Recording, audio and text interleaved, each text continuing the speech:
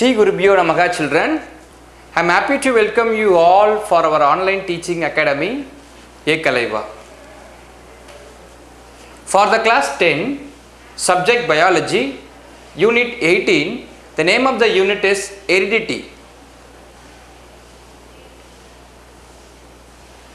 Children today we are going to discuss about sex determination. Usually the sex determination is main, mainly determined by the chromosomes of an individual. Okay, what is chromosome? Chromosomes are nothing but a long thread-like structure, a long thin thread-like structure which is present inside the nucleus. That chromosome only determines the sex of an individual. Okay, so the formation of zygote into male or female sex during development is called sex determination. Okay? So this sex determination is maintained or mainly determined by chromosomes. Now we will see the sex determination in human beings. You know very well in human beings there are about 23 pairs of chromosomes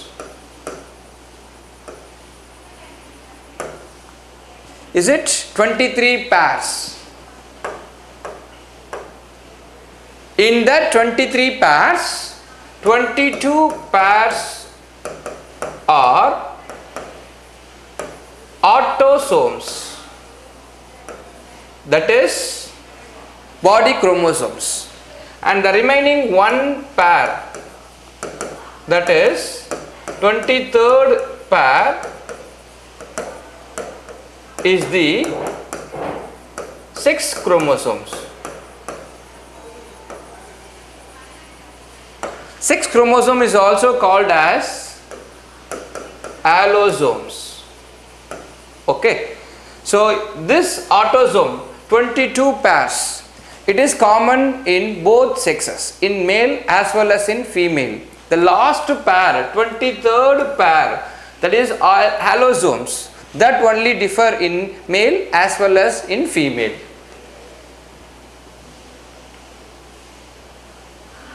The female gametes you know very well are the eggs formed are similar in their chromosome type. As I said in female the last 23rd pair the chromosomes are similar XX chromosomes. XX in females Therefore, uh, human females are homogametic. Homo means same. The gametes are same. So, XX chromosome type, 23rd pair. Hence, the females are homogametic. In male, the male gametes or sperm producers are of two types. They are produced in equal proportions. If the sperm bearing 22 plus X chromosomes and the sperm bearing 22 plus Y chromosomes. Hence the human males are heterogametic. Here two different types of gametes X and Y gamete. Okay. So XY chromosome. So two different types of chromosome here. This is the 23rd pair. Okay. In that 23rd pair two different types of chromosomes is here X and Y chromosomes. In female it is XX in 23rd pair. In male it is XY in 23rd pair. Females are homogametic and males are heterogametic. They can able to produce two different types of gametes. One is X and another one is Y. X gamete and Y gamete. So males are heterogametic.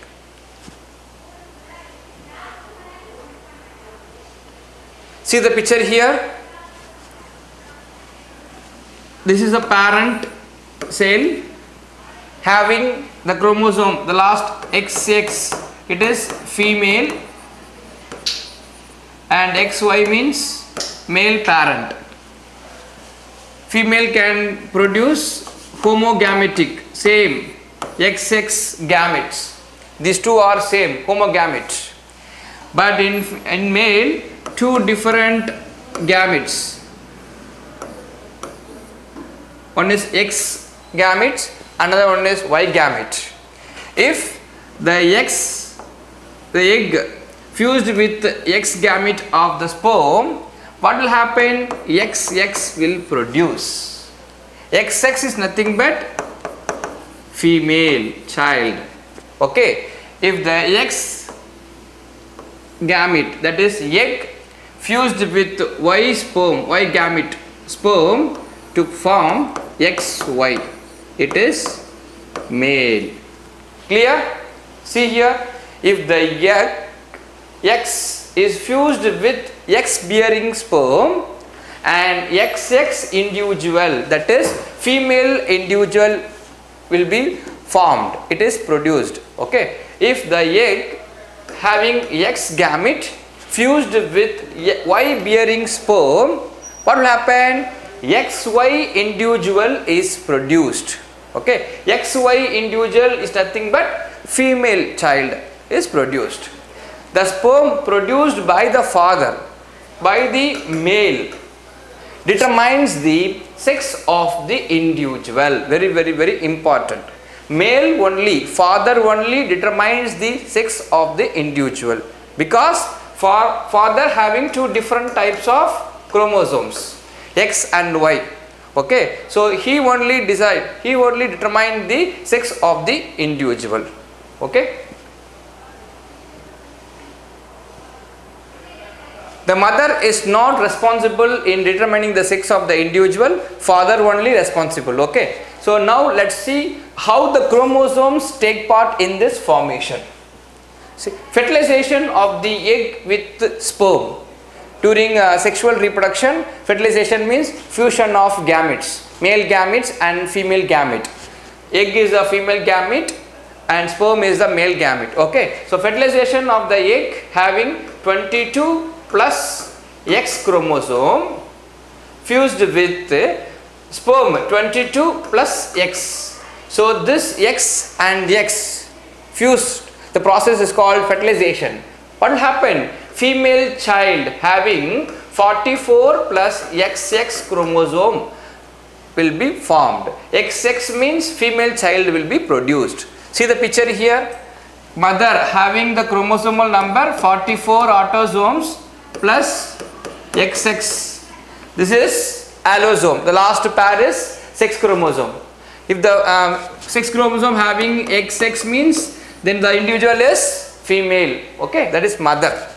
In father 44 autosomes plus XY allosomes. What will happen? The female mother will produce 22 X 22 plus X and 22 plus X. These are the gametes. Father will produce 22X sperm and 22 plus Y sperm. During fertilization, this 22 plus X egg fused with 22 plus X sperm, what will happen? 44 plus XX that is female child will be produced. Female child is formed when the 22 plus x egg fused with 22 plus y sperm what will happen? The egg fused with the sperm what will happen? 44 plus xy chromosomes. Okay the individual formed here is male that is boy. Can you understand? See the picture? Fertilization of the egg having 22 plus X chromosome with the sperm 22 plus X chromosome. These two X fuse together to form XX. Then the individual is female. Very good.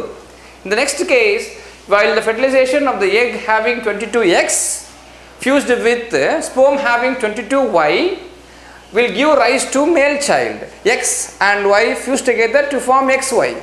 If the chromosome having XY in the last pair, then it is male very good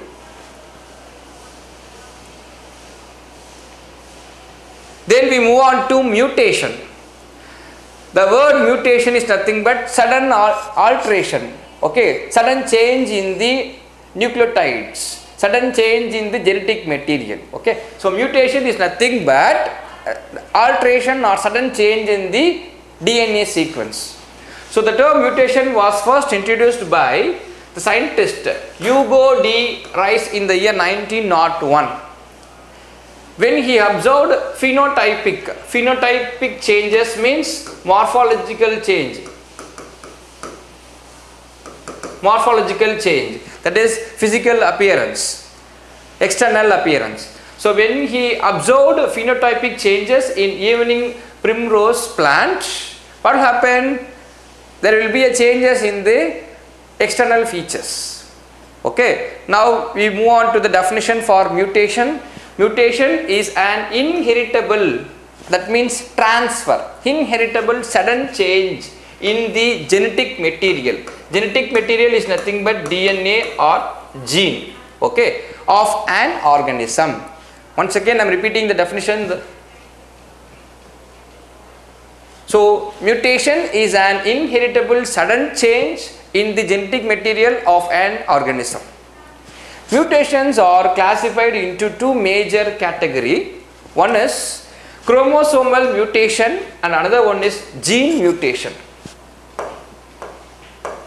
Chromosomal mutation. If the if the mutation takes place in the total number of chromosomes or any uh, shape of the chromosomes. So alteration takes place in the chromosome itself total number of chromosome then it is comes under chromosomal mutation another type is there that is called a gene mutation. If the any if any changes or any alteration takes place in particular gene in particular base pair then the type of mutation is nothing but gene mutation. Can you get my point children? Yes.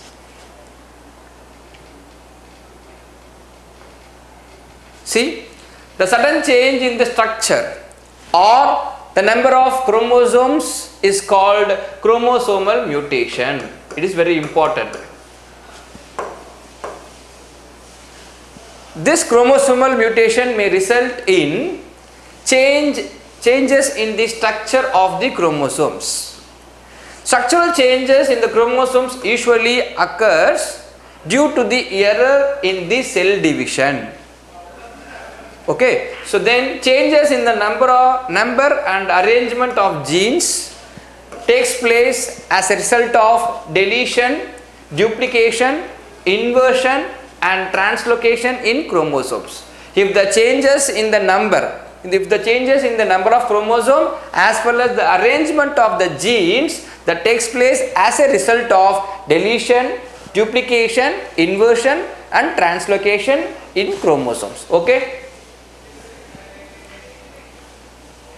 The next one is changes in the uh, number of chromosomes. As I said earlier, uh, in human beings there are about 23 pairs, pairs of chromosomes. If any change, any alteration takes place in their number, that comes under changes in the number of chromosomes. Clear? So they involve addition or deletion of the chromosome number okay? So they involve addition or deletion in the number of chromosome present in a cell. In a cell there are about 23 pairs okay? It is constant in all the cells.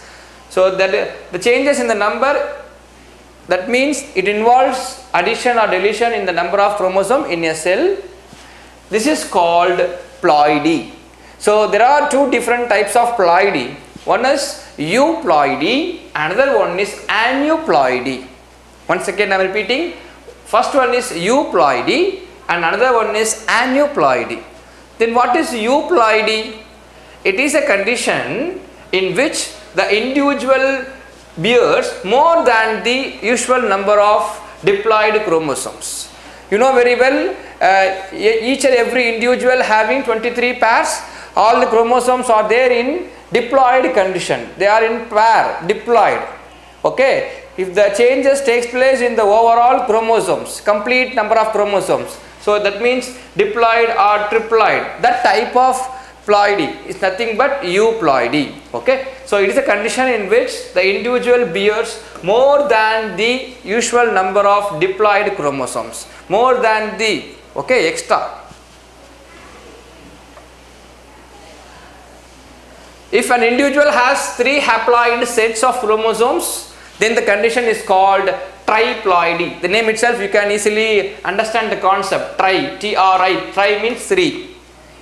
The, tri, the triploid plants and animals are typically they are sterile. Okay, if it has four haploid sets of chromosomes, then the condition is called tetraploidy. 4n. Tetraploid plants are advantageous as they often result in increased fruit and flower size.